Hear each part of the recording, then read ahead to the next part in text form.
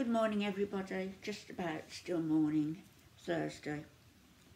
Um, do you know, it's like a winter's day. The sun's just come out, so maybe it'll warm up this afternoon, but it's been so cold here the last couple of days. Um, and I'm trying not to put the central heating on too much. Um, sort of, when I come down for my first cup of tea, probably about five o'clock in the morning, I'll switch it on low for um, an hour just to warm the rooms up before I get up and have my shower. And then um, I put it on just before I go to bed and I'm tending to go up to my bedroom quite early. So, um, to read and do stuff, you know. So, um, it's on for a couple of hours a day, I suppose. But it's May, it's um, 6th of May, and I remember in the offices where I used to work, the heating used to go off. I think it used to go off at the end of April and used to come on again. I'm not sure whether it was September or whether it was October, but certainly in the autumn. Um, and if the offices were cold then, we just used to have to put um, a convector heater on. Convector, a convector heater on. That's what we had to do. So I might get one actually, it might be an idea. Um, I don't know. We'll see. Um, I made a video yesterday afternoon. I think it was afternoon. Yesterday anyway. I made a video and my voice wasn't at its best as usual.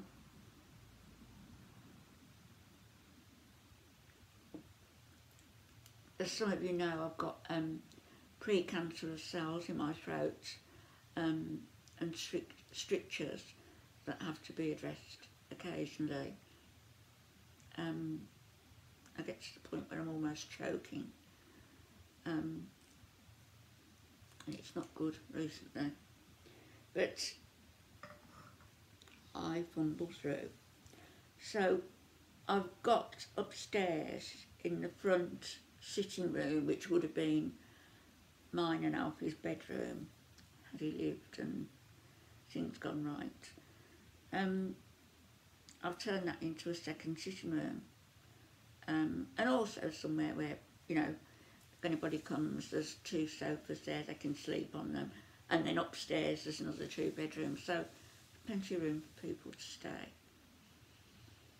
Anyway, I'm using it as a second sitting room and finally I've got my laptop up on my desk.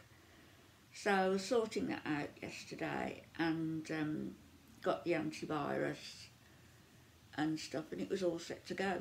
So I made a video and do you think I can upload it? I cannot. I don't know why. Um, I had difficulty switching it off. Um, I just had to close the lid. So I will post it because I made it and I stand by what I've said in it. Um, it's about Tom Mills and his recent attitude towards subscribers and attitude towards people in general, the arrogance and the disrespect um, is just totally out of order. And I feel as a supporter of that channel and um, who actually liked Andrea um, didn't always agree with what she did and her outlook in life but I did like her. Um, she was calm and she you know she loved her kids. But uh, what's happening to a channel at the moment it's just awful.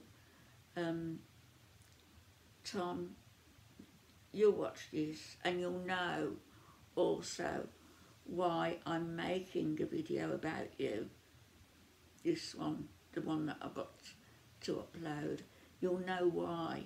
And the reason why is because comments are deleted.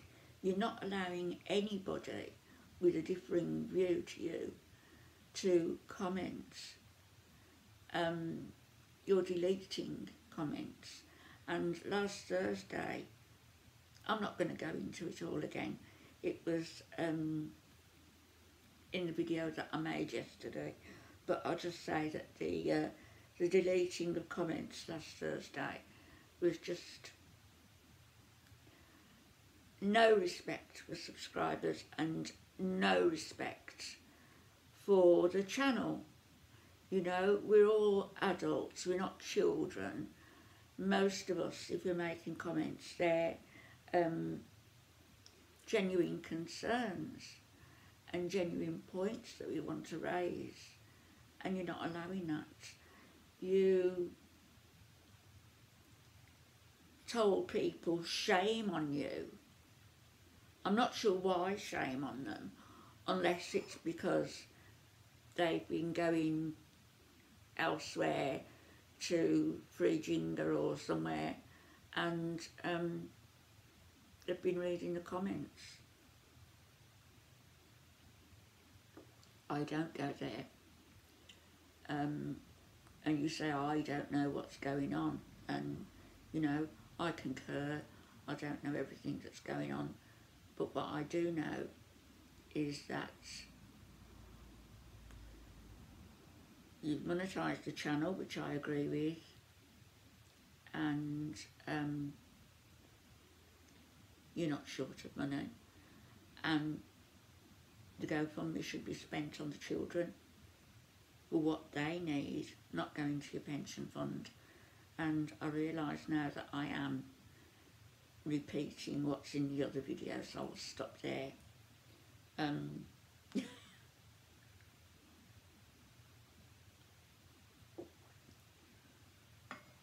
so I'll go and get that uploaded later. Um, what else did I want to say? Yes. The video I made the other day about people making a career out of YouTube, and they are, and I've got no problem with that, you know.